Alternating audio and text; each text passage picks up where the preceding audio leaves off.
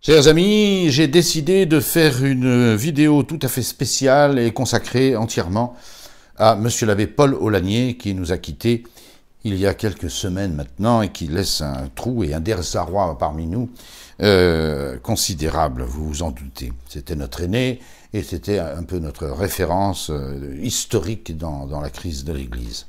J'ai décidé de faire cette vidéo pour plusieurs raisons. Et je m'en explique. La première, c'est le départ soudain de l'abbé Aulagnier.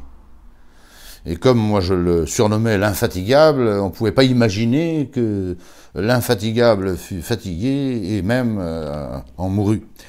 Euh, il est parti en trois semaines, il était rentré à l'hôpital de Limoges pour euh, se faire poser un stent, ça s'est très bien passé. Puis il y est revenu le 14 avril pour se faire poser deux autres stents, ça s'est également très bien placé, passé. Mais c'est dans l'hôpital, maladie nosocomiale, qu'il a attrapé le coronavirus, et on ne le lui a même pas dit. Et le soir même de, deuxième, cette deuxième opération, il est rentré chez lui, il n'en pouvait plus, mais il ne savait pas ce qu'il avait. Il a passé huit jours au lit, il a il a, il s'est même pas levé pour dire sa messe. Quand on connaît la Bolagnier, c'était inimaginable. Il s'est même pas levé pour prêcher la retraite qui était en cours. C'est l'abbé Vella qui a dû le, dépanner. Euh, et, quand il a été hospitalisé euh, à l'hôpital de Périgueux, ça n'est certainement pas le meilleur de France. Euh, un, ils n'ont rien pu faire. Et deux, ils nous ont empêché de le voir. Ce qui fait que la Bolagnier est parti euh, un peu à, la sauvage. Et euh, alors, il a quand même reçu tous les sacrements, parce que moi-même ayant enterré ma sœur Monique, j'étais en Limousin au moment où il était à l'hôpital de Limoges, et j'ai pu lui donner, le confesser bien sûr, et lui donner les, saintes huiles. Mon frère Jacques d'ailleurs lui a porté la communion le, lendemain. Et, puis finalement, l'abbé Bouddha, nos confrères de, de a pu lui redonner l'extrême onction, vu que ça n'était pas la même maladie, euh, et qu'on peut redonner l'extrême onction, vous le savez, quand la maladie n'est pas la même. Or, il a, moi, je lui avais donné à cause de ses opérations au cœur, et euh, l'abbé Bouddha lui a donné l'extrême onction en raison du coronavirus qu'il avait attrapé. Alors, évidemment, on n'a même pas pu voir son corps euh, la dernière semaine, parce que le personnel hospitalier faisait un véritable blocus, un barrage euh, étanche, c'est scandaleux, hein, quand on pense à tous ceux qui meurent dans les EHPAD et qui peuvent même pas revoir euh, leur père, leur grand-père, leur femme, leur, enfin, c'est inouï, cette dictature euh, qui règne. moi, je suis scandalisé et par la dictature et, par le fait qu'on on, ne fait rien pour débloquer ce verrou. C'est la première raison pour laquelle je veux parler de l'abbé Aulagnier. Euh, certes, nous lui avons fait une très belle cérémonie à Châteaudun, on a fait remonter son corps, et seulement c'était la veille de l'ascension. Et il y a le coronavirus, on était limité à, euh, un certain nombre de, fidèles. L'église qu'on nous avait octroyée était assez belle et assez grande, l'église Saint-Jean de Châteaudun, mais euh, peu de personnes, peut-être 200, étaient à ses obsèques. Quand on connaît l'envergure du personnage qu'a été la Bolagnier, euh, c'est un petit peu tristouné, euh, je ne peux pas vous le, cacher. Mais je fais surtout cette vidéo par piété filiale. Euh, le rôle occupé pendant toute sa vie sacerdotale par M. l'abbé Olagnier est décisif pour la tradition. Et je le fais moi par piété filiale. Je pense que je suis le mieux placé pour le faire parce que ça fait 40 ans que nous frayons ensemble, plus, puisque j'ai 42 ans de sacerdoce et qu'il était déjà mon professeur au séminaire. Donc ça fait déjà 50 ans qu'on travaille ensemble.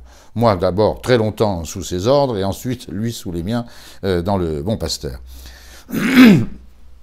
Et je me réjouis de l'avoir toujours eu comme ami mais un, ami respecté, un ami, un père, euh, une référence. Et ça, je voudrais que les jeunes le sachent.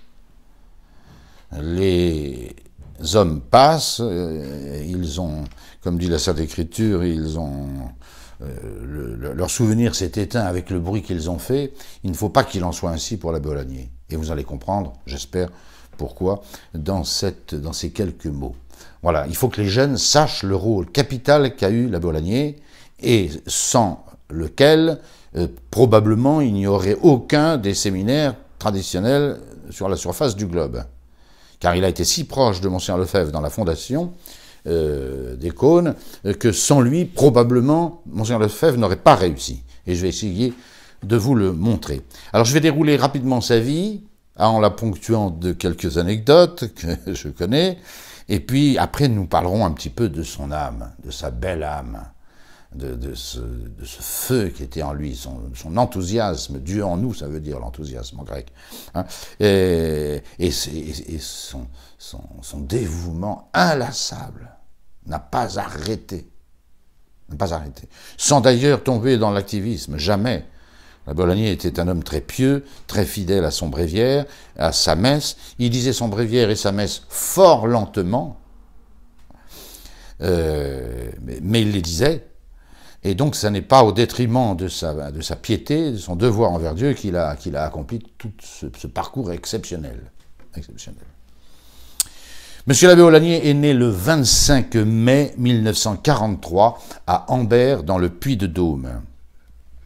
Et il est décédé, je viens de vous le dire, le 6 mai 2021, euh, la veille de l'Ascension. Ces obsèques ont eu lieu euh, le 12 mai, donc, dans l'église Saint-Jean de Châteaudun, et il est inhumé pour l'instant provisoirement dans le cimetière de Tivier. Tivier est une petite commune au sud-est de sud-ouest pardon de Limoges à 50 km environ où il avait acheté il y a deux ans, mais je vais y revenir, le couvent Saint-Paul, le bien nommé couvent Saint-Paul, euh, où il prêchait les retraites depuis deux ans. Et on espère pouvoir transporter assez rapidement son corps du cimetière de Tivier, où il se trouve actuellement, dans la propriété, le couvent Saint-Paul, euh, qui accueillera, euh, qui continuera bien sûr sous la houlette pour l'instant de l'abbé Vella, à rayonner, à prêcher les exercices de Saint Ignace et, à assurer les, offices pour les fidèles du coin. Monsieur l'abbé Olanier a été à l'université de Clermont, il a commencé son droit, et puis grâce à la probité de son père, il l'a toujours dit, euh, ce n'était pas une grenouille de bénitier, son père, il n'allait pas tout le temps à la messe, mais sa fidélité à l'Église et à, la France catholique était euh, sans, conteste possible. Et puis une très grande piété de sa mère que j'ai connue, euh, sa mère qui se réjouissait d'avoir un fils prêtre. Euh, voilà. Il est d'une famille de cinq enfants. il a un frère aîné et trois sœurs, dont deux sont ses aînés aussi. Donc il est le quatrième enfant de cette fratrie. Et puis en 1964, donc euh, il a 21 ans, c'est très jeune, il n'a pas fini ses études de droit, il va rentrer au séminaire français de Rome. N'oubliez pas que Écône a été fondé en 1970. On ne peut pas rentrer à Écône en 64. Il faut trouver un séminaire le plus traditionnel qui soit, parce que la Bologna a toujours été pour la tradition et sans mélange. Et ce séminaire le plus Autrefois, le plus sérieux, c'était le séminaire français de Rome. C'est capital à comprendre ça dans la vie de la Bolognier, qu'il a commencé au séminaire français de Rome. Et il y a passé quatre ans. C'est pas rien. Le séminaire français de Rome était, avant le concile, la référence doctrinale en matière de séminaire. Il y avait eu des, prêtres prestigieux dans cet établissement, du temps de Monseigneur Lefebvre, qui fit ses études aussi, euh, mais évidemment 30 ou 40 ans plus tôt, euh, sous la direction du révérend père Le Floch, mais il y avait aussi le cardinal Billot qui avait été formé là, euh, le père Aiguy, le plus grand cérémoniaire répertorié de l'époque, c'était un séminaire où, on étudiait vraiment la doctrine, autrefois, autrefois, hein, la doctrine catholique des papes, et en particulier les encycliques que Monseigneur Lefebvre commentera toute sa vie, les grandes encycliques de la fin du XIXe siècle, Mirarivos de Grégoire Segre, Quanta Cura et le syllabus de Pie IX, Libertas Presentissimum de Léon XIII, et puis évidemment le décret Lamentabili, et puis la, géniale encyclique du, Saint-Pape Pie euh, Pacendi Dominici Cregis. Voilà. C'est à cette école. Alors on pensait que le séminaire français, qui avait formé de si prestigieux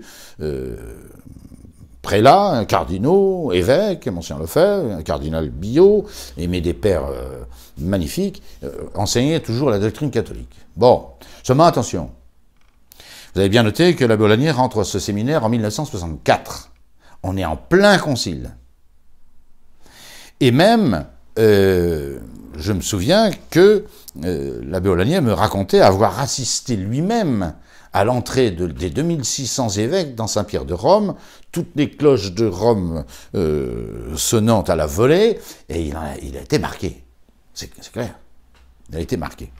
Seulement, le séminaire français de Rome n'était plus du tout celui que je viens de vous décrire, du temps du Père Le Floch et de ses successeurs. Le modernisme et l'esprit du concile étaient passés par là. Les séminaristes n'avaient plus la soutane, tout était en vernaculaire. On est quand même euh, cinq ans avant la nouvelle messe. Mais les théologiens ne sont plus saint Thomas et, toute l'école thomiste, c'est euh, bah les Hanskung, c'est les Schilbeck, c'est tous ceux, les euh, qui ont fait le concile, et les Balthazar et j'en passe. Et, même au point de vue de la discipline, c'est le relâchement complet. Il faut savoir également que ce séminaire était sous la grande direction euh, de Monseigneur Lefebvre, à cette époque même où la Bolognaise s'y trouve. Et pourquoi? Ben Parce que le séminaire était confié aux spiritains. De longue date, de très longue date, c'était le séminaire, le séminaire français de Rome était tenu par les spiritains. Or, le supérieur général des spiritains à l'époque où nous parlons, c'est-à-dire pendant le concile, 64-68, c'est Monseigneur Lefebvre. Vous me direz, mais est-ce que Monseigneur Lefebvre n'aurait pas pu remettre un peu d'ordre dans ce séminaire? Eh bien, c'était impossible. Et c'est d'ailleurs pourquoi en 1968, Monseigneur Lefebvre va démissionner. Il va démissionner de la charge de supérieur général des pères du Saint-Esprit, lesquels tenaient le séminaire français de Rome. Et il nous l'a expliqué plusieurs fois en conférence. C'était la révolution à tous les étages. Il n'y avait plus moyen de gouverner. Et si, on faisait recours à Rome, on, était, euh, tous les traditionnalistes étaient écartés, mis de côté. Monseigneur Lefebvre, voyant qu'il ne pouvait plus maintenir les pères du Saint-Esprit, les pères du Saint-Esprit, c'était pas loin de 6000 missionnaires, vous imaginez Il y avait trois congrégations gigantesques dans l'Église missionnaire à cette époque, les, pères du, Saint-Esprit, les lazaristes de Saint-Vincent de Paul, euh, et, puis, les, les Oblats de Marie Immaculée de, Monseigneur de Masno. Elle taquinait entre les 5 et 6 000 missionnaires, ce qui est extraordinaire. Mais Monseigneur Lefebvre a vu que la Révolution l'empêchait, il pouvait pas, même supérieur général, on ne l'écoutait plus, c'était la Révolution, c'était c'était mai 68, c'était mai 68. Monseigneur Lefebvre démissionne. Seulement, seulement ça veut dire que la Bolognier, poursuivant ses études il a d'ailleurs eu une licence de philosophie hein, et un début de licence de théologie, comme Monseigneur Lefebvre avait lui eu en son temps, car il a été des séminaires français, Monseigneur Lefebvre, bien sûr. comme séminariste, il avait eu un doctorat de, philosophie et un doctorat de théologie. Alors ces deux hommes se sont rencontrés. Se sont rencontrés. Et justement, en 68-69, quand le Monseigneur Lefebvre quitte la, direction des, pères spiritains, euh, L'abbé Aulagnier se, demande, euh, il sait très bien que Monseigneur Lefebvre est un conservateur, est un fidèle à la tradition, un homme très pieux.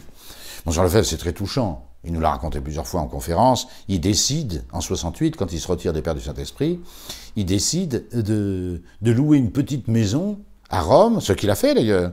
Et puis, eh ben, il, allait finir sa vie dans la piété. il ne savait pas ce que Dieu lui réservait euh, par la suite. Alors, voyons que ce grand archevêque, euh, délégué euh, pour toute l'Afrique francophone du pape XII, archevêque de Dakar, il avait été aussi évêque de Tulle, mais ça c'était un placard bien concocté par les évêques de France. Bref, que ce grand archevêque est au chômage, eh il se tourne naturellement vers eux. Et là, c'est très peu de personnes, attention. Hein. C'est l'abbé Aulanier, c'est le futur monseigneur Tissier de Malaret, l'abbé du Chalard, ils sont quatre. Que fait Monseigneur Lefebvre? Eh bien, euh, il les inscrit d'abord, ces séminaristes, parce qu'il accepte de leur donner une formation traditionnelle. Mais Cône n'existe pas, attention. Il les inscrit d'abord à l'université de Fribourg, tenue par les dominicains. Et ils ont là, euh, ces, quatre séminaristes, ces trois séminaristes, c'est une poignée, hein, ils ont des cours à l'université de Fribourg. Il y a des grands professeurs à Fribourg. Il y en a quelques-uns qui viendront enseigner à Écône. Je pense au père Merlet, je pense au père Spic, des grands dominicains, et qui enseigneront à Écône mais qui prendront peur en 1974 euh, avec la déclaration, la fameuse déclaration du 21 novembre, euh, que je ne peux pas citer, je vous y renvoie euh, seulement. Mais là aussi, il y a encore la révolution qui passe, on est en 69, 70, et Monsieur Lefebvre se demande s'il va pouvoir laisser ses, ses séminaristes comme ça, dans un appartement à Fribourg, à suivre les cours des dominicains. Et finalement, Monsieur Lefebvre se décide, en 1970, à acheter la vieille maison du Grand Saint-Bernard, pas celle qui est dans les hauteurs, mais celle qui est à Écône, domaine d'Écône, et c'est là qu'il met ses séminaristes. Et il obtient, Monseigneur Lefebvre, il obtient de Monseigneur Charrière, évêque de Lausanne, Genève, Fribourg, eh bien l'érection canonique de la fraternité. Tout ça est canonique pour l'instant. Elle est de droit diocésain, elle n'est pas de droit pontifical, comme le sera par la suite le, bon pasteur, mais enfin, elle est parfaitement reconnue. Et combien de fois, Monseigneur Lefebvre soulignera que cette œuvre a été fondée le plus légalement possible, le plus légitimement possible, le plus canoniquement possible? C'est très important à comprendre, ça.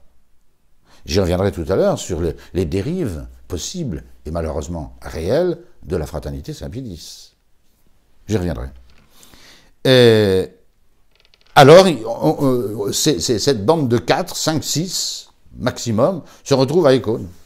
Et en parfait euh, accord avec l'archevêque euh, du lieu. Et pas n'importe lequel. Monseigneur Charrière et Monseigneur Lefebvre s'entendaient très bien. Mais quand les difficultés vont commencer d'arriver, s'il n'y avait pas eu la vaillance de l'abbé Aulagnier, qui est le numéro un, qui est le numéro un de ce petit groupe, qui, c'est lui qui a, qui, a, sorti Monseigneur Lefebvre d'une sainte et pieuse retraite à Rome. C'est lui. faut le savoir quand même.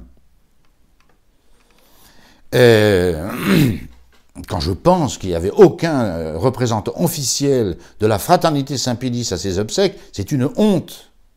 C'est une honte. Je reviendrai là-dessus aussi. La Bologna a pu dire à cette époque que toute la que, toute la fraternité Saint-Pédis logeait dans sa deux chevaux. Il avait non pas une Audi comme sur la fin, hein, cette fameuse Audi à trois, dont je reparlerai, mais il avait une deux chevaux. Il y avait Monseigneur Lefebvre à droite et trois séminaristes derrière et lui au volant. C'était toute la fraternité Saint-Pédis dans les années 69-70. Bravo à M. l'abbé Olanier. Bravo. Et il y avait là le futur, Bernard Tissier de Malray, futur euh, évêque, qu'on aurait bien aimé voir aux obsèques de euh, M. l'abbé Aulagny. Voilà ce Écône fondé. On est en 70. Et le grand événement de... Euh, et, vous voyez, dans toutes les grandes difficultés, Monseigneur Lefebvre, qui, qui n'avait jamais imaginé, avec la formation qu'il avait reçue, pouvoir un jour s'opposer à Rome, jamais, S'opposer à tel ou tel évêque, ça, Monsieur Lefebvre avait l'habitude. Hein. Mais s'opposer euh, au pape et au, gouvernement romain de l'Église, c'était inimaginable. Et qui lui a regonflé le moral à, chacune de ces circonstances et, l'a aidé à passer le cap? Bon, Monsieur Lefebvre, il faisait euh, ce qu'il jugé devoir faire, hein, ça c'est sûr. Quand on connaît cet homme, hein, euh, voilà, d'une bonté incroyable, mais, mais, d'une volonté euh, d'acier. Bon.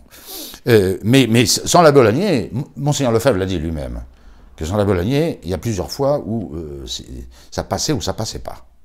En particulier, aux ordinations de 76, quand Monseigneur Lefebvre commence à ordonner un certain nombre de prêtres, 13 ce jour-là, euh, il, sait très bien qu'il sera suspend à Divinis, et la veille de la désordination, il rentre dans le bureau, bureau de la Bolognier, et il lui dit, euh, Monsieur l'abbé, qu'est-ce que je fais?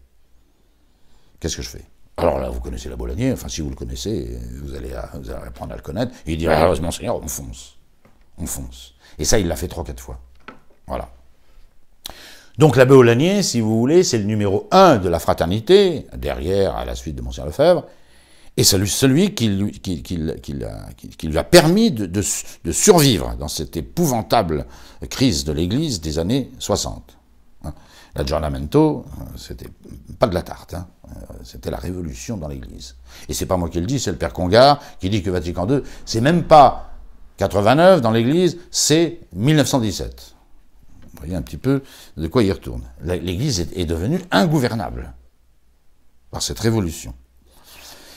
Et voilà l'abbé Aulagnier à Écône, où il finit ses études. Il avait quand même fait quatre ans d'études, plus ou moins sérieuses quand même, à Rome, et finalement, il est ordonné assez vite, puisqu'il est le premier prêtre ordonné par Monseigneur Lefebvre. Il est ordonné euh, à Écône, dans l'église de Ride, c'est le petit bled qui est à côté d'Écône. Euh, il est ordonné en la fête de Sainte Marguerite Marie, euh, la grande messagère du Sacré-Cœur, le 17 octobre 1971. L'abbé Olagnier dira euh, toujours qu'il était très heureux d'avoir été ordonné le jour de Sainte Marguerite Marie à la coque. Il l'a toujours dit. Il dit J'ai placé mon sacerdoce sous l'égide, sous, sous le patronage, sous, la, sous la, charité du, Sacré-Cœur, et je, n'en démordrai pas. Et quand on connaît la ville de Bolognier, c'est pas des mots. Parce que si, j'ai approché un prêtre bon, débonnaire, plein de charité, c'est vraiment l'abbé Aulagnier. Et l'empreinte du Sacré-Cœur, comme il le souhaitait et comme il l'a voulu, eh bien, a, été euh, tout du long de sa vie euh, sacerdotale. Quand l'abbé Aulagnier est incardiné, vous savez qu'un prêtre est rattaché à l'Église. Sinon, c'est pas un prêtre catholique. Bon, ça s'appelle l'incardination le cardo cardinis en latin, le gond, hein, il est dans, ce, dans, ce, dans, ce, dans cette cheville hein, tournante de l'Église. Un prêtre catholique doit être incardiné. Alors là, il nous a toujours fait beaucoup rire, l'abbé Aulagnier. La vérité de son, de son incardination, c'était le diocèse de Clermont. J'ai oublié de vous dire que quand il part au séminaire français de Rome, l'abbé Aulagnier, il va avec l'aval complet. Il y est même envoyé par son archevêque, qui est l'archevêque de Clermont, monseigneur de la Chanonie. Et donc, à cette époque, avant le concile, on est incardiné depuis la tonsure. Maintenant, on est incardiné au diaconat. Mais à l'époque, c'est la tonsure. Il est donc incardiné. Quand il est ordonné par Monseigneur Lefebvre, il est toujours du diocèse de Clermont. Et il y restera fort longtemps. C'est moi-même, comme supérieur général de l'Institut de Bon Pasteur, qui euh, incardinerait, en, transaction avec euh, le successeur de Monseigneur de la Chanonie, euh, Monseigneur Hippolyte Simon, qui négocierait son incardination dans le Bon Pasteur. Alors il nous a fait rire, parce que la Bolagnier savait qu'il était incardiné toutes ces années de la fraternité Saint-Pédis. il était incardiné au diocèse de Clermont, je me répète. Mais lui disait qu'il était incardiné dans la fraternité Saint-Pédis. en vérité, la fraternité Saint-Pédis avait reçu le pouvoir d'incardiner. En particulier, Monseigneur Lefebvre l'a souvent répété, il avait même incardiné, Monseigneur Lefebvre, avec l'aval de Rome, du cardinal Wright, si j'ai de mémoire, des religieux, vœu solennel. Voilà, je ne donne pas ce nom, c'est pas la peine. Et euh, la Bolognaise disait, qu'il était incardiné dans la fraternité Saint-Pédis. Et ceci jusqu'à son exclusion en 2004. Euh, Donc vous voyez, ça fait quand même 71-2004, ça fait quand même. En vérité, il n'était pas, on peut le dire, c'est amusant, si je puis dire. L'abbé Olagnier n'a jamais été incardiné dans la fraternité Saint-Pédis. Vu que il l'a toujours été dans le diocèse de Clermont jusqu'à son incardination, celle-là canonique et réelle, dans le Bon Pasteur en 2012. Et avant que je ne l'incardine, dans le Bon Pasteur, eh ben, la Bolagnier euh, disait qu'il avait trois incardinations. Bon, ça c'était pour la blague. Une au diocèse de Clermont, c'était celle qui était valide. Deux, la fraternité Saint-Bélis, dans laquelle il n'a jamais été incardiné, puisqu'on ne peut pas avoir deux incardinations, et qu'il en avait déjà une. Et puis finalement, quand il est rentré, il a fondé le Bon Pasteur avec nous, et il nous a été d'un grand secours, eh bien, euh, troisième incardination dans le Bon Pasteur. En vérité, il n'a jamais eu que deux incardinations, le diocèse de Clermont, canonique, hein, et l'Institut du Bon Pasteur. C'est assez amusant de penser que l'ange gardien de la fraternité Saint-Pédis, comme l'appelait Monseigneur Lefebvre, le fondateur euh, intrépide aux côtés de Monseigneur Lefebvre, hein, et son assistant général pendant des, lustres, euh, n'a jamais été canoniquement euh, incardiné dans la fraternité Saint-Pédis. J'ai connu l'abbé Olanier, moi il était professeur à Écône. Le district de France n'existe pas. Monseigneur Lefebvre n'a aucun prêtre à cette époque-là.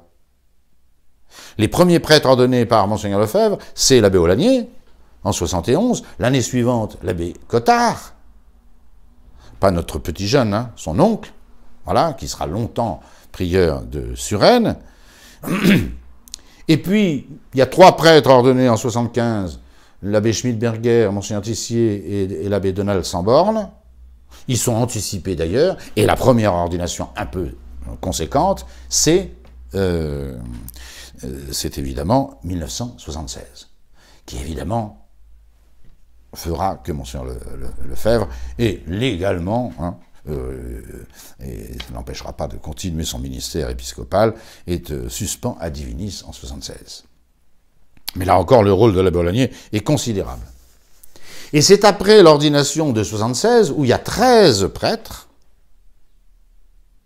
Richard Williamson et, l'abbé du et, beaucoup d'autres, hein, euh, que Monseigneur Lefebvre fonde le district de France. Et qu'est-ce qu'il fait? Eh bien, il y envoie l'abbé Aulagnier son principal lieutenant, euh, son bras droit, euh, l'ange gardien de la fraternité. Mais quand l'abbé Aulagnier arrive dans le district de France, comprenez bien que celui-ci n'existe pas. Il y a un pied-à-terre à Suresnes, minuscule, où dans ses déplacements loge Monseigneur Lefebvre, où l'abbé Aulagnier y sera plus tard comme supérieur de district, et puis on vient d'acheter tout récemment la maison du Pointé, de Vichy qui deviendra une belle maison de retraite. Et puis c'est tout. Donc, l'abbé Cottard à Suresnes et l'abbé Aulagnier au Pointé. Puis finalement, quand l'abbé Cottard sera rappelé au séminaire en 77, euh, avec la crise de 77, mais ça c'est une autre histoire, moi je vous parle de l'abbé Aulagnier, eh bien, euh, l'abbé Aulagnier quittera euh, le Pointé et montera à Suresnes, beaucoup plus central, et l'abbé Cottard deviendra prof de, dogmatique au séminaire d'École. Et c'est là que va commencer, pour l'abbé Aulagnier, une période de 18 années, autrement dit 76, 1994, euh, de fondation du district de France. Alors je ne vais pas vous énumérer toutes les maisons fondées par l'abbé Aulagnier. D'abord, on y passerait trois quarts d'heure, hein, et puis sachez que de celles qui sont encore existantes, et fort nombreuses aujourd'hui, ben, il y en a deux tiers qui ont été fondées par la Bolognier. On peut, nommer déjà les trois écoles, j'ai dit que je ne les nommerai pas, puis je commence par le faire, euh, les trois principales écoles, les premières écoles de la fraternité Saint-Pédis. Saint-Michel de Châteauroux, où j'ai eu l'honneur d'enseigner la philosophie quatre ans, et puis euh, Saint-Joseph des Carmes, du côté de Carcassonne, et puis sur l'est de la France, euh, l'école de Beach, qu'a dirigé mon frère pendant 22 ans. Et puis beaucoup d'autres maisons beaucoup d'autres écoles primaires. Pendant 18 ans, ça n'arrête pas. Et, euh, là, il faut reconnaître que avoir l'abbé Aulagnier comme supérieur était une chose très agréable. Très agréable. Il était d'un zèle euh, inlassable. Il était infatigable. On sentait que l'abbé Aulagnier nous aimait. Il nous aurait demandé de, grimper, je lui ai dit d'ailleurs une fois, euh, dans ces termes, à la tour Eiffel avec les mains ou avec les dents, on l'aurait fait. Et c'est vrai. En 84, je me souviens, il me téléphone, j'étais curé de Saint-Nicolas du Chardonnay, il me téléphone deux jours avant la grande manifestation contre, euh, contre le projet Savary, qui voulait absolument euh, nationaliser toutes les écoles. Bon, il me téléphone. La guérie. Euh, je dis bien, bien chef, qu'est-ce qu'il y a? Il me dit, vous organisez une grande manifestation hein, à Versailles, c'était à Versailles la première manifestation, après ça sera Paris. Et, puis vous êtes à la tête de vos troupes et je veux voir le plus de monde possible. Bon, moi, c'est en 84, je suis arrivé en 83 à, Saint-Nicolas. Je me dis, il est, est un peu, il est un peu audacieux, hein, le, patron, là. N'empêche que, avec cette résolution de la Bolanier et puis un peu de dynamisme de ma part, on était des milliers, on était le plus beau cortège de l'avenue de Paris à Versailles. On avait une sono à tout casser, des banderoles, on était deux, ou trois mille. Et puis c'est une des rares batailles qu'on a gagnées. Mitterrand, le lendemain des trois manifestations, il y en a une qui a, fait 1,6 million, 1,7 million. Il y a des Bretons qui ne sont même pas arrivés à Paris, ils n'ont pas pu descendre du train, tellement il y avait du monde à la troisième. Et là, Mitterrand a reculé et euh, a renvoyé promener Savary. Et puis, euh, on a laissé les écoles en l'état. Il y a encore des écoles libres en France. Prions que ça dure. Voilà, c'est Abbé Olanier. J'ai de, de la Bolanier des souvenirs innombrables que je ne peux pas vous raconter. Ce que je sais, c'est que quand il passait pour les grandes fêtes à Saint-Nicolas, bah, c'était la joie. C'était la joie. Il célébrait soit la veille Pascal, ou au minimum la grand-messe du jour de Pâques, pareil à Noël. Euh, et puis après, ben, après 5-6 heures de confession et de messe, on, on déjeunait ensemble, et c'était formidable. C'était formidable. C'est formidable parce que bon, il nous ouvrait son cœur, il nous parlait de ses soucis, de ses projets. Il avait toujours cinq ou six projets dans la tête, la Bolognier. En permanence. Il avait toujours deux, trois prieurés, deux, trois maisons sur le feu. C'est clair. École et tout. J'en passe. N'oubliez pas qu'il était aussi assistant du supérieur général, Monseigneur Lefebvre. Et qui faisait des navettes pour la Suisse euh, régulièrement, comme assistant en plus de sa charge énorme de supérieur de district. On peut dire que dans ce district, il a tout fait, ou presque. Tout fait. Trois mandats de six ans, je l'ai dit, 76, 94. Voilà. L'Institut universitaire Saint-Pédis a été fondé sous son égide. Hein. Voilà. Euh, c'est lui qui a réuni les plus grands happenings de la tradition les plus grandes manifestations de la tradition, c'est l'abbé Olanier qui les a pensées et organisées. Il y a deux anniversaires de Monseigneur Lefebvre, euh, les, 50 ans de sacerdoce de Monseigneur Lefebvre et ses 40 ans d'épiscopat, après bien sûr. L'un à la porte de Versailles, l'autre dans le nord de Paris. C'est lui aussi qui a fait l'Anti 89.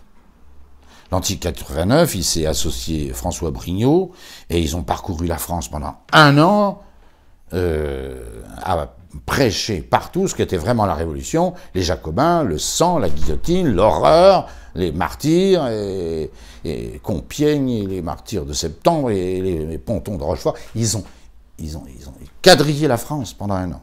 Oui, mais résultat des courses, hein, le 15 août 89, euh, il y avait 35, euh, 40, peut-être même plus, 1000 personnes entre euh, la cour carrée du Louvre et Saint-Germain-l'Auxerrois. Un succès phénoménal.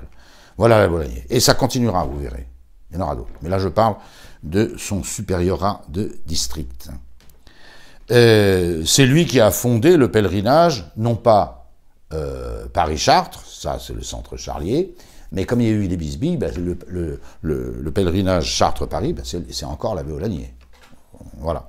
Ne demandez pas à cette époque euh, une, une, œuvre où la Bolognier ne, participe pas, ou même n'est pas l'instigateur, dont il n'est pas l'instigateur, c'est clair. Voilà. Malheureusement, on lui enlève le district en 94. C'est une grande erreur, je pense. Un homme aussi doué, il n'a que 50 ans. On est en 94. Euh, L'abbé Schmidberger ne comprendra pas qu'un calibre de cette envergure. Hein. Euh, non seulement il faut, le laisser là où il est, puisque ça marchait euh, merveilleusement bien, euh, mais si jamais on le déplace, ce qui peut se faire, on lui trouve un poste conséquent, important. Il était toujours assistant, deuxième assistant de la, de la fraternité, premier assistant. Il avait été deuxième assistant, mais il était le premier là. Qu'est-ce que fait l'abbé Schmidberger? Il l'envoie au Canada dans le froid et la neige. Voilà. Avec charge de s'occuper d'une petite école que la fraternité avait là-bas, sans doute, petite maison de retraite, Shawinigan, mais avec euh, mission d'apprendre l'anglais et l'espagnol. Non mais, alors ça c'est le grand n'importe quoi. Moi, demandez-moi à 65 ans d'aller apprendre le russe ou le polonais. Non mais je vais vous rire. Et puis j'irai pas. Ça c'est clair. J'irai pas. C'est comme quand on m'a nommé au Mexique, en plein milieu de mon combat de Saint-Éloi. Ah, j'ai dit, je suis désolé, hein. Ah, je prendrai pas l'avion et je sauterai pas de l'avion. Non, non. Ou, si, je sauterai en parachute. Je ne suis pas allé. Voilà. Il y a des choses que les supérieurs font parfois qui sont complètement euh, invraisemblables. On ne prend pas cet homme qui, est le bras droit de Monseigneur Lefebvre, qui est toujours vivant, euh, attendez, Monsieur Lefebvre meurt en 91. Sinon, jamais. Il, est, vivant pendant tout le, la gloire, le, règne de la Bolognier sur le district. Malheureusement, Monseigneur Lefebvre décède en 91. C'est terrible pour la Bolognier. C'est terrible. C'est terrible parce que la Bolognier, euh, est-ce qu'il était un grand chef? Pas sûr. Et il avait un grand chef un chef immense, Monseigneur Lefebvre. Quand j'étais à Suresnes, moi, il téléphonait 4, 5, 6 fois par jour à, Monseigneur Lefebvre. Et il, prenait les consignes, etc. La disparition de Monseigneur Lefebvre en 91 est pour la Bolognier un, premier choc terrible. Choc terrible. Il n'a plus la confiance de son supérieur, et puis surtout, il n'a plus ce guide euh, de, chaque chose. Ils n'étaient pas toujours d'accord, Monseigneur Lefebvre et la Bolognier. Mais c'est toujours l'abbé Olanier qui s'alignait, et heureusement, heureusement, heureusement. Monsieur Lefebvre meurt en 91, en 94, l'abbé euh, Schmidt-Berger en profite pour enlever euh, l'abbé Olanier à la tête du district. Je pense que c'est une grave erreur, et puis en plus, l'envoyer au Canada apprendre l'anglais et l'espagnol, il y a de quoi déprimer. Et il a fait une, véritable déprime. Elle est supérieure des fois qui sont inconscients. Hein. Moi, j'ai pas peur de le dire. Hein. Je sais que moi, il m'est arrivé la même chose et puis j'ai refusé. Sinon, j'aurais fait ma déprime. Et je pense qu'un prêtre, s'il est sûr de faire une déprime, eh ben, il doit dire non aux ordres grotesques qu'on lui donne. Voilà ce que je pense. C'est comme ça. Voilà. Quand les ordres sont grotesques, hein, sinon on obéit. Il aurait fallu au minimum donner à l'abbé Olanier un poste euh, à sa taille. Je ne parle pas de sa corpulence, qui était quand même sérieuse, mais euh, à, son envergure, à son passé, à, ses qualités nombreuses, variées, son enthousiasme sans limite. Le Canada, dans le froid, la neige, pour apprendre l'anglais et l'espagnol. Il n'a pas su un mot d'anglais et il n'a jamais su un mot d'espagnol. Puis moi, demandez-moi d'apprendre le, polonais ou le, tchèque, je vais, je vous rionner, hein, c'est clair. Voilà, voilà ce que je pense. J'ai décidé de tout dire, vous avez remarqué. Il revient assez vite du Canada, heureusement. Hein. Euh, il va passer quelques temps en Belgique. en remplacement de l'abbé Lorbert. L'abbé Lorbert qui avait réussi à dégoter avec un art souverain une magnifique église, l'église Saint-Joseph, en plein cœur de Bruxelles. On lui a même pas laissé l'inauguration de cette église. Comme moi à Saint-Éloi. J'avais pas dit non. J'étais en plein travaux, en négociation, en procès et tout ça. Euh, parce que j'ai critiqué leur manière de faire et de renvoyer les séminaristes. Hein, allez, hop, Mexique.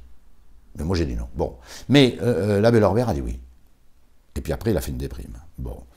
Euh, on a mis la Bolognier là, voilà. Et puis ensuite, mais il continuait. Alors, vous allez voir pourquoi il a été renvoyé. Hein. Mais il a été renvoyé parce qu'il il, cherchait une solution. Il voyait la dérive de la fraternité Saint-Pédis, comme moi je l'ai vu dans les séminaires, lui l'a vu dans son ensemble. Et ce refus de toute autorité, il l'a perçu à l'avance. Je vais y revenir. Perçu à l'avance. Et euh, l'abbé Olanier, donc, euh, est nommé à Caen. Vous croyez qu'il va rester tranquille? Pas du tout. C'est là qu'il s'occupe de l'affaire du Chamblac. Je ne peux pas tout vous dire. Euh, pour la succession de, de, M. l'abbé Montgomery Wright. Il sera en première ligne et il réunira 1500 personnes le dimanche, 2000 euh, le dimanche suivant, etc. Et ferraillé euh, avec l'évêque du lieu. voilà, il gagnera la bataille du Chamblac. Mais bon, il n'y aura pas de suite parce que parce que parce que parce qu'il y aurait une suite si la Bolanier était restée là.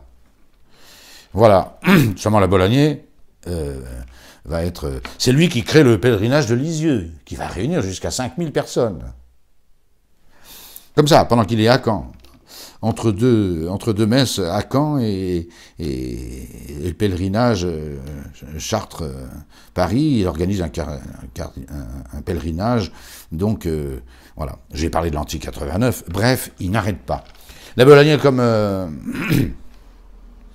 comme écrivain, si je puis dire. Hein. Je parlerai de ses livres tout à l'heure, mais euh, c'est lui qui fonce l'agence de presse officielle de la Fraternité Saint-Bélis, appelée DICHI, hein, comme Documentation et Information catholique internationale, et puis surtout la revue Fidélitaire. Ça, c'était du temps de Monseigneur Lefebvre. C'est bien avant la mort de Monseigneur Lefebvre. Elle est environ de 70 18, 19, la, revue Fidélité. Quand l'abbé Olanier fièrement présente son premier numéro à Monseigneur Lefebvre, Monseigneur Lefebvre regarde ça, c'était mal, euh, mal frappé, c'était encore artisanal tout ça. Euh, Monseigneur Lefebvre le prend, il dit c'est bien, c'est bien, c'est bien. J'espère que ce n'est pas un mort-né. Je cite. euh, la vérité, c'est que cette revue n'a jamais cessé de paraître et qu'elle a atteint son numéro 260 dans quelques mois c'est un bimestriel. Ça veut dire qu'il n'a manqué aucun numéro. Ce mort hein, est très vigoureux, euh, il n'est pas, il pas morné du tout. Et bravo, euh, la Bolanier. Voilà. Et puis on arrive au drame de la vie de la Bolanier. Parce que, alors là comprenons bien, parce que euh, il voit la dérive de la fraternité, il la voit, il la voit comme un vrai prophète il subit aussi le, choc de, cette, de, ce, commencement de dérive. Il en subit le choc, hein, parce qu'il est traité comme un, véritable paria. Qu'est-ce qu'il fait? Alors on peut ne pas le soutenir là-dessus. Je ne l'ai d'ailleurs, moi, pas soutenu là-dessus. Hein. Il pousse, il pousse, il pousse la fraternité à signer un accord avec Rome sur le modèle de euh, l'administration apostolique de Campos emmené d'abord par Monseigneur Rangel, consacré par, les, par Monseigneur de Malray, et emmené ensuite euh, euh, Monseigneur Rangel qui va mourir d'un cancer un an et demi ou deux ans après son épiscopat, et emmené ensuite par le, tristement célèbre abbé Rifan. tristement, c'est un surdoué Rifan, qui a connu Rifan avant son, son qui, qui, passe à la nouvelle messe, eh bien Rifan était un prêtre exceptionnellement doué, exceptionnellement doué. Euh, chacun, les vieux se souviennent de son sermon à Chartres, à l'arrivée à Montmartre, euh, phénoménal. C'était un surdoué. J'ai tout faire, construire, jouer de l'accordéon, théologien, euh, voilà. Et puis, puis, et puis, il a réussi, en faisant le siège du cardinal Castrianoios, à obtenir une administration apostolique. Bon, bien. Et la Bolognier s'engouffre dans la brèche en disant que euh, la fraternité sabédiste doit faire la même chose. Ce que ne comprend pas tout à fait euh, l'abbé Olanier, et je m'en suis expliqué avec lui, on n'était pas d'accord sur ce point, c'est qu'il pensait qu'une administration apostolique universelle était possible. Parce que la fraternité est partout, sur les cinq continents. L'administration apostolique de Campos, elle est sur le diocèse de Campos. C'est déjà passablement euh, original comme, euh, comme dispositif, mais elle ne touche que Campos. Il n'y a qu'une administration apostolique universelle, ça s'appelle l'Église fondée par Jésus-Christ. Et elle a un prélat à sa tête, ça s'appelle le pape. J'arrivais pas à faire comprendre ça à la bonne Mais si, mais si, ils auront une exemption, je sais pas quoi. Non, non. Le type administration apostolique, elle est forcément locale, parce que sinon, si elle n'est pas locale, elle est universelle. Si elle est universelle, ça s'appelle l'Église catholique, vous avez compris. Et elle a un prélat, ça s'appelle le pape.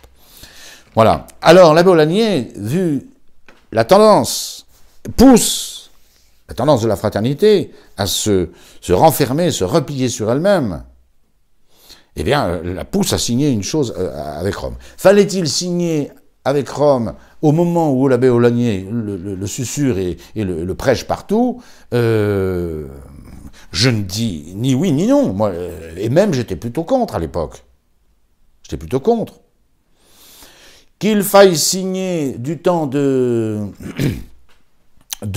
du pape Benoît XVI, euh, là, je pense que je pense que l'abbé Olanier a eu raison.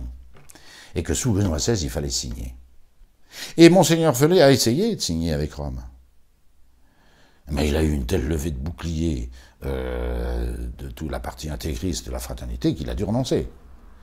Mais sous, sous Benoît XVI, c'était possible de signer, pourvu qu'on obtienne l'exemption, c'est-à-dire qu'on n'ait pas de besoin d'une lettre signée de, l'ordinaire du lieu pour ouvrir une maison. Parce qu'ils sont tellement euh, pestes, ces évêques, qu'ils nous empêcheraient, ils empêcheraient la fraternité de, continuer à grandir.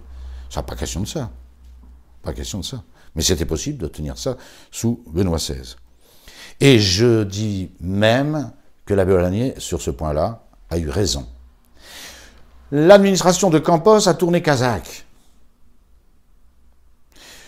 Monseigneur, euh, Monseigneur Rifan a trahi. Il est passé à la nouvelle messe alors que tout avait été fait par son prédécesseur, Monseigneur euh, Campos, hein, euh, son nom me reviendra, par Monseigneur Rangel et, par les évêques de la fraternité qui ont ordonné Monseigneur Rangel, lui a été ordonné par le cardinal Rifan, dont il a fait le cardinal euh, dont il a fait le siège pendant un an. Il m'a raconté ça en détail. Voilà.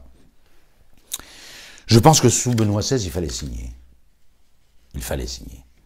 Parce que c'est d'ailleurs ce que nous avons fait, nous. Donc, si, je pensais qu'il ne fallait pas le faire, c'était valable pour les uns comme pour les autres. Euh, voilà. À condition que la fraternité obtienne cette exemption. Pas une administration apostolique, c'est impossible. Il n'y en a qu'une, universelle, c'est l'Église catholique.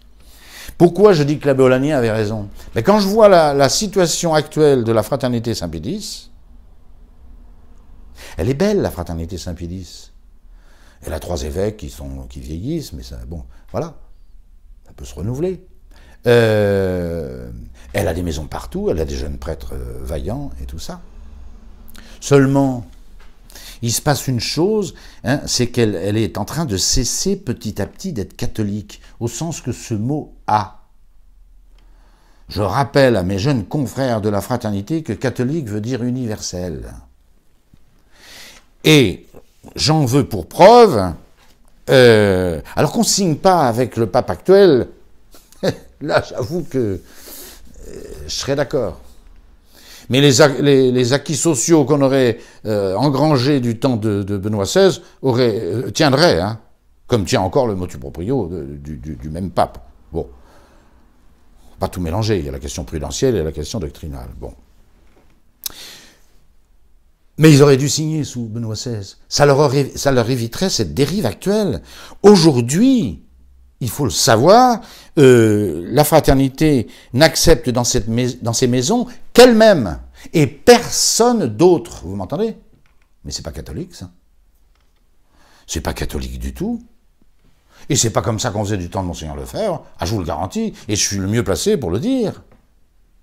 J'ai été 14 ans curé de Saint-Nicolas, quand un prêtre, n'importe lequel, pourvu qu'il fût prêtre, en nous montrant son célibrette, venait célébrer la messe, et pourvu évidemment euh, qu'il ne célébra que exclusivement la messe traditionnelle. Bon, ça, on, pas de... Et bien on lui ouvrait un hôtel et on lui, on lui servait la messe et tout ça. Maintenant, les prêtres, comme moi, mais peu importe, ordonnés dans la tradition, qui ne célèbrent que la messe traditionnelle, n'ont pas le droit de mettre le pied dans une chapelle de la fraternité Saint-Pédis. Et encore moins, vous pensez, d'y célébrer. Mais c'est odieux, c'est pas catholique du tout. La fraternité, Saint-Pédis s'est arrogé le droit de dire qui est catholique de qui ne l'est pas. Mais ça ne prouve qu'une chose, hein, c'est qu'eux sont en train de cesser d'être catholiques. Chaque fois qu'on euh, l'abbé Olagny aurait dû être enterré, et on aurait été délicat à, Saint-Nicolas du Chardonnay. J'ai appelé la bouche à, bouche cour, il, il m'a dit c'est même pas la peine d'essayer. Pour mes 40 ans de sacerdoce, j'ai demandé Saint-Nicolas. Bon, ils m'ont envoyé promener avec beaucoup de compliments, avec beaucoup de gentillesse, et nous prions pour vous, patin, couffin, comme ils ont fait pour la mort de... Mais pas moyen. Moi, j'ai fait un voyage chez mon très sympathique frère à Lourdes, euh, à cause des bonnes sœurs là qui sont là. J'ai dû célébrer ma messe. J'ai été ordonné par Monseigneur Lefebvre en 79. Et puis le jour où je dirai la nouvelle messe, il y a longtemps que les poules auront des dents. Hein. Bon. Eh bien, j'ai dû célébrer dans la sacristie. Comme si j'étais un pestiféré. Du temps de Monseigneur Lefebvre à Saint-Nicolas du Chardonnay, on prenait tous les prêtres. Et ils célébraient. Regardez pas s'ils étaient modernistes ou pas, pourvu qu'ils célèbrent la messe traditionnelle. Et Monseigneur Lefebvre était d'accord. Maintenant, même les prêtres qui, sont complètement dans la tradition ne sont pas jugés catholiques par les membres de la fraternité Saint-Pédis. Ben, cette attitude n'est pas catholique du tout. Alors pas du tout. Et s'ils assistent, hein, il faut qu'ils soient une et ils nous demanderaient, nous, d'assister. Hein. Ma sœur Monique n'a pas été euh, enterrée à, Saint-Nicolas du Chardonnay, elle a été quêteuse en chef pendant 20 ans. Hein. 20 ans. Euh, ça fait, hein. Bon. Parce qu'elle dit, mais mon frère, euh, mon frère, Philippe, moi, ne pourra même pas rentrer dans l'église. Et, pour une cérémonie d'obsèques d'une très bonne amie, hein, euh, décédée d'un cancer à 30, 35 années, on m'a même fait savoir que si je me pointais à Saint-Nicolas du Chardonnay, il y aurait un comité d'accueil et qu'on me mettrait dehors manu militari. Voilà. Alors là, j'ai dit, la Bologna avait raison. Là, il avait raison. Il avait raison. Et il faudra qu'ils changent ou ils disparaîtront. C'est clair. C'est clair. Qui garde la doctrine, qui garde la messe, mais j'applaudis des deux mains, qui fondent des maisons, qui forment les jeunes. Autrefois, Monseigneur Lefebvre prenait dans les séminaires euh, ceux qui se présentaient. Maintenant, si vous ne sortez pas d'une école de la fraternité, c'est même pas la peine d'essayer d'entrer à Écône. Euh, d'où Écône qui est réduit à la, à la moitié de ce que j'ai connu. Bon, je ne cherche pas ici à régler mes comptes. Je parle de l'abbé Aulagnier. Alors on peut se dire, mais l'abbé Aulagnier, pourquoi il poussait, il poussait, il poussait dans ce sens? Oui, mais c'est peut-être qu'il avait vu un petit peu plus loin euh, que le bout du nez des, autres. Hein. En, tout cas, plus loin que le bout de son nez à lui. Hein. Ça, c'est sûr.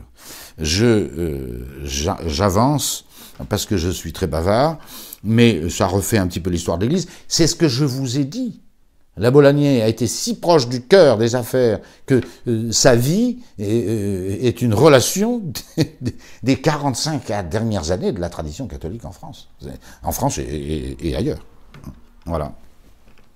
Vous imaginez le choc de la Bolagnier quand il est euh, renvoyé purement et simplement de la fraternité. Il faut dire que la fraternité Saint-Pédis a découvert qu'il y avait un droit canon en 2004 grâce à la BRI et moi-même, hein, surtout la BRI. Hein. Euh, parce qu'avant, euh, un, ordinaire de lieu, ou, un ordinaire tout court, ne peut pas renvoyer un prêtre par une lettre. Mais ça, n'existe pas. Il y a un droit canon. Il peut faire recours. Il, peut recourir à Rome, etc. Il y a toutes sortes de moyens de droit. Les, les évêques ne renvoient pas leurs prêtres, jamais. Ah mais la, fraternité ne se gêne pas. Hop, lettre en tête, vous êtes viré. Allez hop, vous dégagez. Vous imaginez la Bolagnier, après tout ce qu'il a fait, être viré comme ça, comme un malpropre de la fraternité Saint-Pédis. Seulement on n'abat pas la Bolagnier. Ça c'est sûr. On n'abat pas cet homme. J'ai dit ses publications. Et Dès qu'il est renvoyé en 94, j'ai dit euh, sa vie, Canada, euh, quand il va, euh, avec mon aide, et trouver un apostolat magnifique à Rolleboise. Il va y rester dix ans à Rolleboise, de 2008 à 2018. Mais avant, avant, euh, l'abbé Aulagnier, juste avant la fondation de, l'Institut du Bon Pasteur, ben, il est un peu errant. Hein. Il est un peu errant. C'est triste, hein. il donne un coup de main au centre Saint-Paul, ce grand abbé Aulagnier à qui on n'a pas trouvé de poste à sa taille. Donc, quand il apprend en 2006 que les abbés Tanoir, Héry, Forestier et moi, nous comptons monter à Rome, eh bien, il se joint à nous. Vous imaginez le poids que ça fait dans le dispositif. C'est vrai que j'étais connu grâce à Saint-Nicolas du Chardonnay, euh, et puis, euh, au succès de, Saint-Éloi à Bordeaux. L'abbé Noir en était connu, l'abbé Héry aussi, euh, l'abbé Forestier un peu moins, mais quand même. Et puis quand l'abbé Olanier rentre avec nous, alors là, effectivement, on est reçu comme des... sur un tapis rouge à Rome. Et on obtient l'érection du bon pasteur, de droit pontifical s'il vous plaît, sous le Benoît XVI, on l'obtient en quatre mois. On monte en mai, c'est signé en septembre. Cinq mois. Merveilleux. Et là, la Bologna nous a rendu un service considérable. Mais comme il a toujours son incardination à Clermont-Ferrand, il dit qu'il est incardiné dans le Bon Pasteur, il n'y revient pas, alors qu'il est toujours à Clermont-Ferrand. Et il nous a été aidé formidablement. Deux ans plus tard, après à continuer, alors immédiatement, attention, ça je veux le dire, c'est un fondateur né. En 2006, en septembre 2006, l'abbé Forestier et moi-même décidons d'ouvrir un séminaire, puisqu'on a le droit maintenant, et de former des prêtres, et de les faire ordonner par un évêque. Et il faut trouver une maison. On n'a rien. À part Saint-Éloi, on n'a rien. Et le centre Saint-Paul, à Paris. Et c'est la Bolanier qui nous ouvre les portes du Courtalin. Il connaissait très bien le marquis de Gontaubiron, euh, le père décédé, et, il, demande, comme il était très connu, il avait fondé cette maison de Courtalin, qui était une maison de retraite, du temps de l'abbé Vignalou, Herbach et lui, hein, euh, voilà. Et, il nous fait tout de suite un, bail amphithéotique. Au début, à son nom, entrait les traditions, et très vite, on a régularisé le bon pasteur. Après, nous achèterons cette grande maison, et c'est encore l'abbé Olanier. Sans l'abbé Olanier, pas de séminaire. On n'avait pas les sous pour acheter une maison qui puisse accueillir une trentaine, une quarantaine de personnes. On n'avait pas. C'est la Bolanier qui l'a fait. Il faut que les séminaristes de cet établissement sachent que s'ils sont là et que s'ils font paisiblement euh, six années d'études, avec des professeurs à leur service et tout, et tout, et tout, c'est grâce à la Bolanier. Il va donc, en 2008, il ajoute euh, il, prend l'apostolat de, de Rolboise. Cette petite paroisse de Rolboise, hein, petite et perchée sur les bords de Seine, mais il y donnera tout son cœur. On, pourrait dire que la ville de Bolognier, il n'a pas été un curé. Si, il a été un curé aussi. Un curé à demeure, un curé qui s'occupe de ses paroissiens et qui a une grande joie à s'occuper d'eux. Et je remercie les paroissiens de Rolboise qui étaient là pour ses obsèques. Ils le méritaient bien. Hein. Voilà. Seulement en 2013, il est nommé recteur du séminaire. On a une petite crise qui est, Dieu merci, résorbée, et heureusement, euh, à cause d'un ou deux chenapans dans nos murs, à l'IBP, et puis, euh, voilà, un certain nombre, deux ou trois prêtres s'en vont. Et puis, il faut les remplacer, en particulier le recteur du séminaire. Et c'est la Bolanier qui est choisi, élu, pas élu, enfin nommé, euh, à la tête du séminaire. Ça a été admirable le passage de l'abbé Olanier au séminaire. Admirable. J'ai dû le calmer tellement il était zélé. Il décide de se lever non pas à 6 heures comme tout le monde, mais à 5 heures. Il a déjà 73 ans. Et moi, je vois qu'il fatigue, qu'il fatigue. L'infatigable Olanier, euh, je vois qu'il fatigue. Je suis allé le voir, je lui ai dit, monsieur l'abbé, vous avez plus 40 ans. C'est déjà bien de se lever à 6 heures tous les matins. Euh, voilà. mais il dit, il faut que je leur montre l'exemple, etc. Et Monseigneur Lefebvre faisait comme ça. C'est pas vrai. Monseigneur Lefebvre euh, se levait un, quart d'heure avant les autres, mais euh, c'est vrai, il était le premier à la chapelle, mais, mais pas une heure comme les Bologniers. Il m'a écouté quand même. Parce que moi, je craignais pour sa santé. Mais il restait dans nos mentalités infatigable. Parce que quand il s'agissait du ministère, de l'apostolat, de ses cours, etc., il était infatigable. Alors, les cours qu'il donnait au séminaire, pendant les trois ans dont il a été supérieur, et un peu avant et un peu après, c'est des cours sur la messe, ça vous étonnera pas. C'est lui qui a formé, qui forme, qui formait maintenant nos, séminaristes à cet attachement profond, intelligent, euh, réfléchi, argumenté à la messe de toujours. Et il va nous manquer là. Il faut absolument le remplacer. C'est indispensable. On a des séminaristes qui ont vu euh, notre, euh, notre institut sur le net et qui trouvent ça très sympathique, etc., etc. Ça suffit pas. Il faut avoir des convictions chevillées au corps et des convictions, il faut savoir les défendre et il faut qu'elles soient vraies, soient réfléchies. Ça, c'est le travail de la Bolognier. D'ailleurs, je vais parler de sa, euh, bibliographie, c'est, sur ces 10-12 ouvrages, il y en a 10 sur la messe. C'est le grand combat de l'abbé Olanier. Ça, c'est clair. Par ses écrits, en tout cas, et toute sa vie. Toute sa vie. Il. Euh, mais je, suis obligé de lui enlever la charge de séminaire parce que je me dis, il va mourir à la tâche. Il va mourir à la tâche. C'est une bonne période, les séminaristes en ont un très bon souvenir. C'est vrai que c'est moi qui ai pris l'initiative de lui dire, Monsieur l'abbé, vous n'allez pas tenir avec ce, régime que, vous menez. N'oubliez pas qu'il avait toujours la parole de, Rolboise. Et il passait son temps, faute deux heures et demie pour aller de, Courtalin à Rolboise. C'est deux heures et demie de route. Il faisait ça tous les dimanches. Et même, il en rajoutait pour les jours de fête. En plus de sa charge de séminaire. Diriger un séminaire est la chose la plus difficile qui soit. Il faut une panoplie de de, qualité rarement euh, euh, concentrée sur, la même tête. Hein. Voilà. Alors, c'est, voilà, il faut choisir entre Rolleboise et. Voilà. Et euh, Rolleboise, ben, il était nommé par l'évêque du lieu. c'était difficile de supprimer ça, au contraire. Hein. Et donc, il s'est occupé de Rolleboise depuis la fin de son, de son rectorat, jusqu'au son départ de Rolleboise, qui est assez récent, 2018, il quitte Rolleboise. Euh, ce sera un crève-cœur pour lui. Ce sera un crève-cœur. Il quitte, il euh, parce qu'il a atteint la limite d'âge. Encore une loi ridicule dans l'Église, comme il y en a tant. Euh, il quitte, voilà. Il a 75 ans. Or, les curés, à 75 ans, ils doivent partir à la retraite. L'évêque de Versailles en profite. Faites comme tout le monde, prenez votre retraite l'abbé Olanier prendre sa retraite. C'est quand même du n'importe quoi.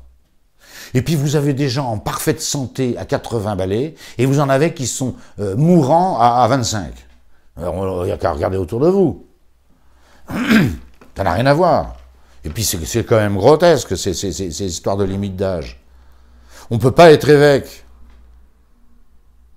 à plus de 75 ans, ou curé, mais on peut être cardinal jusqu'à 80.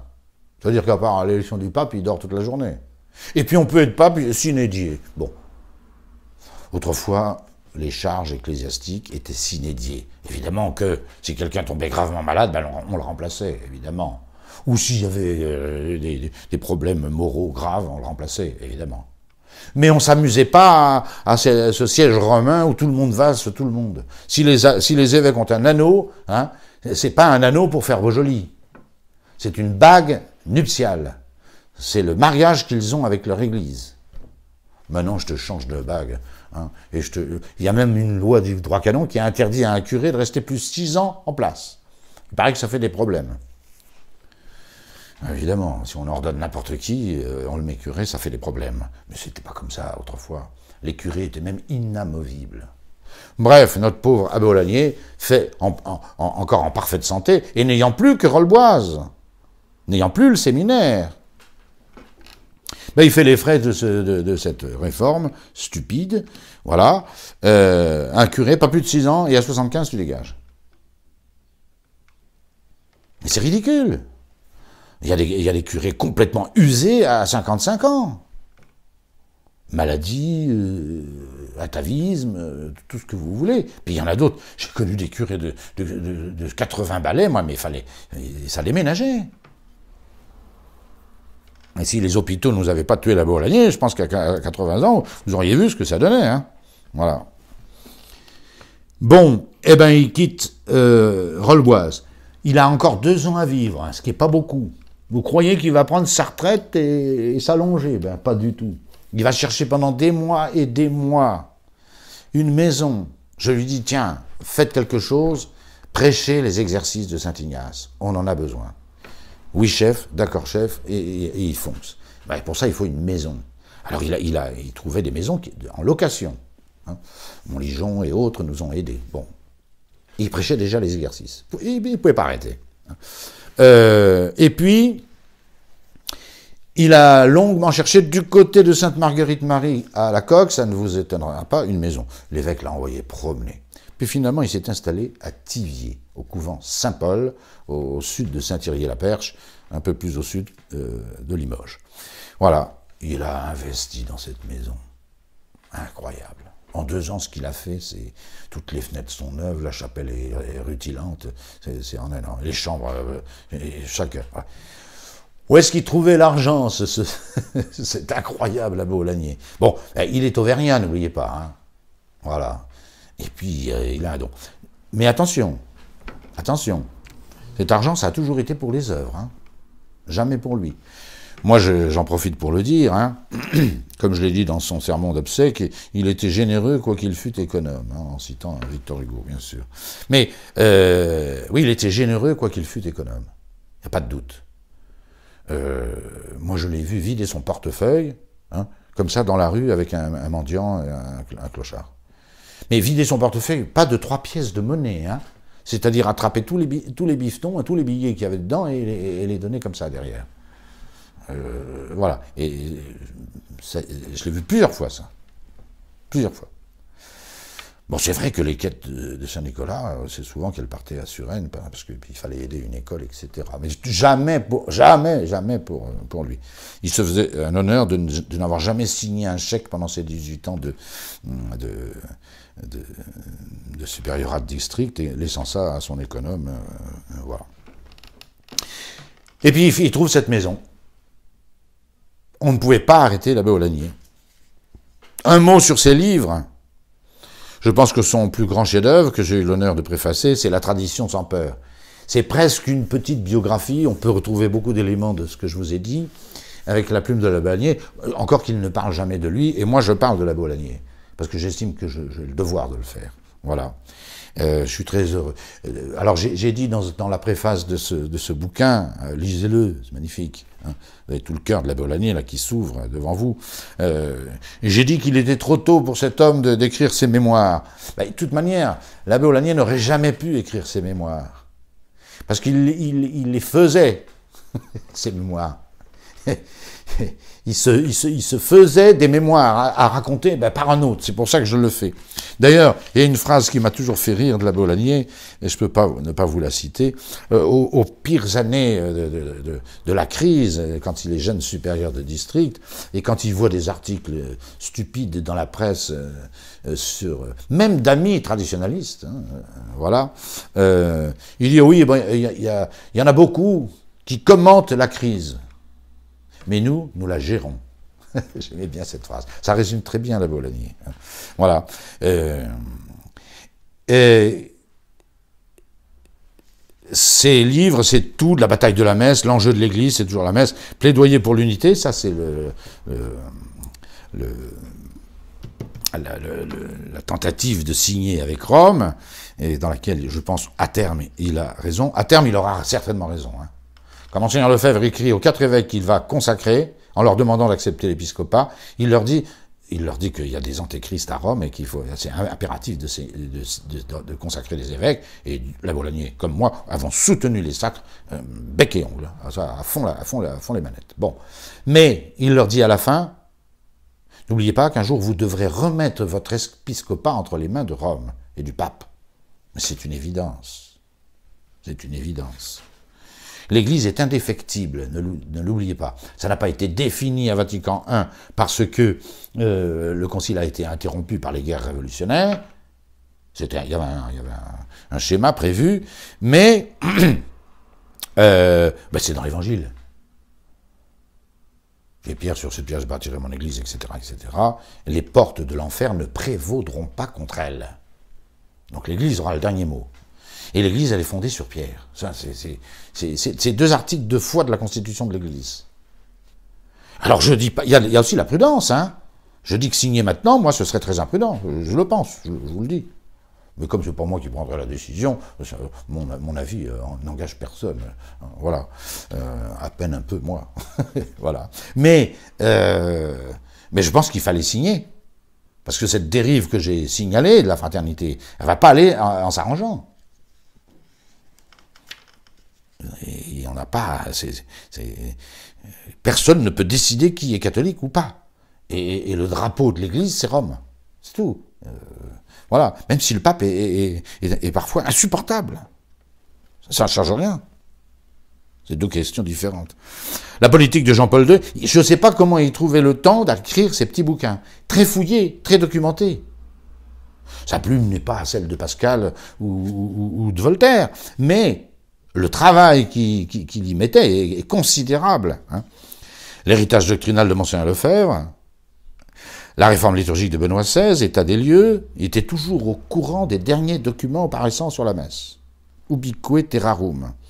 À la fin, mon cœur immaculé triomphera. En 2017, ça fait, ça fait, ça fait 3-4 ans, il fait ce petit ouvrage où il commente tous les hymnes de la Sainte Vierge. C'est un petit chef-d'œuvre. Lisez-le. C'est un petit chef-d'œuvre. Hein. Voilà, la grande histoire de la messe interdite. Et puis, il était encore dans la rédaction d'un livre qui a paru la veille de sa mort. Il a juste eu le temps de le tenir en main et j'espère qu'il en sera fait une publicité euh, convenable. Olanier, j'ai surnommé l'infatigable, euh, j'ai parlé de son bon cœur, j'ai parlé de son enthousiasme, euh, j'ai parlé de sa, de, sa, de, ce, ce zèle inlassable. Il est bien un disciple de Paul de Tarse. Il n'avait pas la forma mentis de l'apôtre des nations, mais qu'il l'a. Mais euh, il, pouvait, faire sienne chacune de ses devises. Et c'est souvent qu'il citait à l'emporte-pièce ces, traits, ces, flèches de Saint Paul. J'en ai écrit quelques-unes. Sa, devise pourrait bien être celle-là. Il l'a raconté, il l'a répété assez souvent. Caritas Christi urget nos. La charité, urget est plus fort que nous presse. La charité du Christ nous presse. Urget, elle nous pousse, elle nous, elle nous, voilà, elle nous oblige à aller de l'avant. C'est ça que veut dire Saint Paul. Il citait aussi, pour moi, vivre, c'est le Christ. Et c'est pas des mots, hein, chez l'abbé Olanier. Il m'a aimé et s'est livré pour moi, dit encore Saint Paul. Cette reconnaissance euh, de l'abbé Paul pour, Dieu, pour son sacerdoce, pour l'Église, pour avoir rencontré Monsieur Lefebvre, ah ben oui, c'était un prêtre heureux. Un prêtre heureux, ça déménage. Voilà. Malheur à moi si je n'évangélise pas. Ou encore, qui est faible sans que je ne sois faible, dit encore l'apôtre. Voilà. Alors, est-ce que la Bologne est un saint? Ben, J'en sais rien. J'en sais rien. Un saint prêtre, ah oui. Un saint prêtre, zélé, certain. Qui peut canoniser l'Église? Pour être canonisé, il ne faut pas seulement être un bon prêtre, ça ne suffit pas. Il faut avoir pratiqué les vertus de façon héroïque, et il n'y a que l'Église qui peut le dire. Et c'est tenu comme pour un, miracle, la canonisation. Il en faut, faut d'ailleurs des miracles, on ne les a pas encore vus. Mais que l'abbé Olanier soit un excellent prêtre, un bon pasteur, un modèle pour les prêtres, un enseignement pour les jeunes, je tenais à vous le dire. Parce que si quelqu'un ne vous le dit pas, eh bien personne ne vous le dira. Euh, le communiqué de la fraternité Saint-Pédis est lamentable. Alors il a l'air propre, hein on retrace un petit peu les étapes de la vie de l'abbé Olanier, puis on dit malheureusement, il a quitté la fraternité euh, en 2004. Bon, euh, c'est un peu léger. Quand on doit tant à un homme, et devant la mort, devant la mort, je sais bien que beaucoup de prédicateurs euh, transforment tous les défauts des, des, défunts en, en qualité extraordinaire. Je ne fais pas ça. Je ne fais pas ça avec la Bolanier. Je ne peux pas le canoniser. Je n'ai pas du tout ni l'intention, ni, le pouvoir, ni l'autorité. Ce n'est pas, mon propos. Mais la place qu'il a tenue dans l'Église, depuis le Concile jusqu'à jusqu'à ce, ce, funeste 6 mai 2021, euh, il faut le savoir. Et avec quelle vaillance, avec quelle intrépidité, avec quelle paternité, avec quelle bonté, avec quel zèle. Alors les, jeunes, prenez-en de la graine. Ce que j'ai moi-même fait euh, si longtemps. Et pour ma plus grande joie, je vous remercie. Le sacerdoce a pour finalité la gloire de Dieu, la, la magnificence de Dieu, la transcendance divine. Et le prêtre trouve sa grandeur, sa majesté, son caractère sacré dans sa relation à l'Eucharistie. Il n'y a pas de plus sacrement, de plus solennel, de plus grand, de plus magnifique, qui est l'Eucharistie, qui, grâce au mystère de la transsubstantiation, euh, est le Christ Jésus dans sa gloire et dans sa passion.